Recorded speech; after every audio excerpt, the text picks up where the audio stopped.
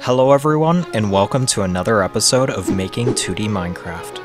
The past few episodes have been jam-packed with progress as we get closer to completing this seemingly never-ending project, and this episode is no exception. So without any further introduction, let's get started. The first thing I want to work on in this episode is something that's in almost every video game, but we haven't been focusing on very much, which is UI. To get started, I wanted to implement something that is completely unnecessary, but will look really cool. When you boot up Minecraft Java Edition, the superior version, there is this really cool loading screen with the Mojang logo. Well, I wanted to do the same thing, but our own version. So I got to work trying to mimic the Mojang screen as close as possible. And I gotta say, it looks pretty amazing. But I wasn't done yet. The code you saw in the background a moment ago is actually some resource loading code that allows me to view files being loaded in in real time. What does this mean? Well, it means I can now create this. Oh yeah, we're going all out with this episode. Speaking of logos, for the title screen I needed a logo to signify that this is 2D Minecraft. So I found this awesome website that allows you to make your own Minecraft style logos, and after messing around for quite a bit, I came up with this. One nice detail about it is that the logo is flat, or two-dimensional, unlike the normal Minecraft logo. Since we now have our logo, let's actually talk about the title screen. There are many different approaches that I could have took to designing the title screen, but I decided to combine the regular Minecraft title screen and the Terraria title screen. And I'm sure everybody is rolling their eyes right now, because they knew this was coming. So what I ended up doing is just rendering a scrolling biome background, with the daytime constantly changing.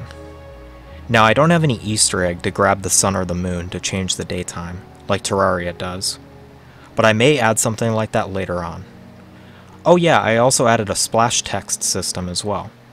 Right now I only have a few written out, so if you have any suggestions for some splash texts, feel free to drop them in the comments below.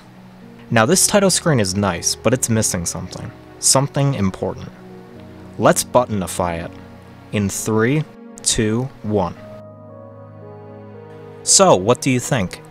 Getting these buttons to render correctly was an absolute pain. This is because the menu buttons in Minecraft are different sizes, so I had to make them resizable. Now as of right now, none of these buttons do anything, because this is the only menu that has been implemented, so I think it's time we work on some more menus. Let's do this.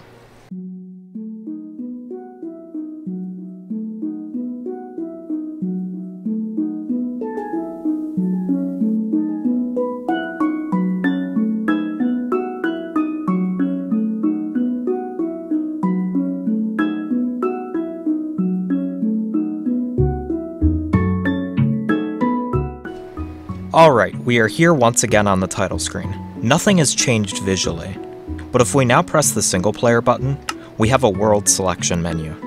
Now if you compare it to the regular Minecraft version, it's very close, although I did end up stripping certain things out. What's nice is I can now easily create worlds from just pressing a few buttons. And once I go back to the main menu, the worlds are there for me to select. Oh yeah, by the way, see this little world preview icon? Getting this feature to work was an absolute disaster. This is because I had to come up with a convoluted system to take a screenshot of the screen, downscale it, and then map it to a small image icon that could then be saved to the current world save folder. And it really shouldn't have been so difficult, but because all of the variables I had to use were completely different data types, I had to convert between them. But it now works. And I can even reset the icon, and it will display a default icon, but a 2D version instead. Now, I want to take a bit of a break from working on these menus, and work on adding something else that would look really nice. And the thing I want to add are stars.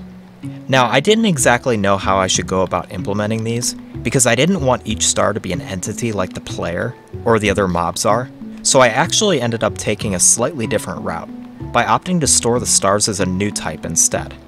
And that type I am talking about is a particle. Since I plan to add a bunch of particle effects in the future, it just seemed logical to implement the particle system now, and then pair it up with the stars.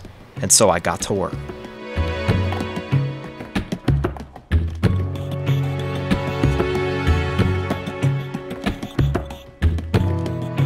Alright, the stars are now done.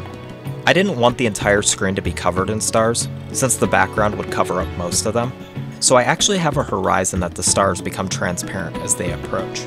And once they reach it, they are then deleted to save rendering time.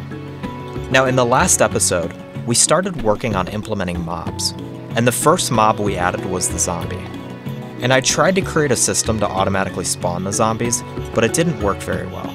So I spent some time completely rewriting the mob spawning system, and it now functions the way I want it to. But we still don't have a way to actually kill the zombies, so I think it's time to implement some basic combat.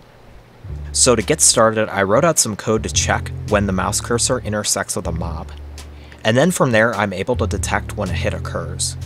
There are only really two conditions required for this. The first is that the mouse overlaps with the mob and is then clicked down, and the second is that the distance between the intersection and the player isn't too large. And once I got that working, I decided to use the particle system I implemented earlier to add a little detail when you hit a mob.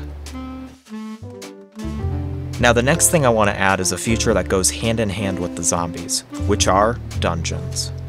Since this is the first structure I'm implementing, I started off by writing out some boilerplate code to handle this new generation system, and then I started writing the code to actually generate the dungeon itself. Now to get the dungeons to look nicer, I had to add a couple of new tiles for this, including mossy cobblestone and a mob spawner, but I also decided to add some new walls as well, to give the dungeons a background.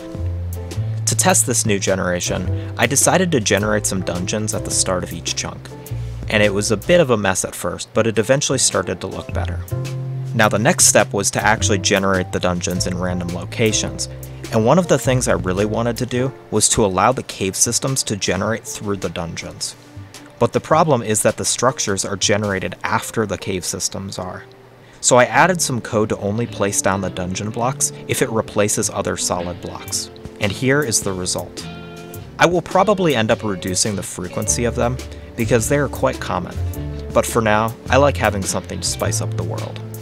And on the topic of spicing up the world, it is a tradition that in every episode I add a brand new biome. And the biome I've decided to add in this episode is a very simple one, but an important one, and that is the mountain biome. Now this process was pretty straightforward, as I didn't need to add any new blocks or anything, the only real issue I had is that I wanted to have patches of grass blocks spawn on the surface, instead of having the entire thing being grass blocks. So that meant when the blocks are generated, there would just be a huge chunk of grass that looks really ugly, since I couldn't generate the grass and dirt separately. So to fix this, I just added a new tag to the blocks that allows them to be updated to dirt blocks immediately, instead of having to wait for it to happen naturally. And with our new biome implemented, that is it for this episode. I hope you guys enjoyed it, and if you have any suggestions on things you would like to see added in the next episode, just leave them down in the comments below.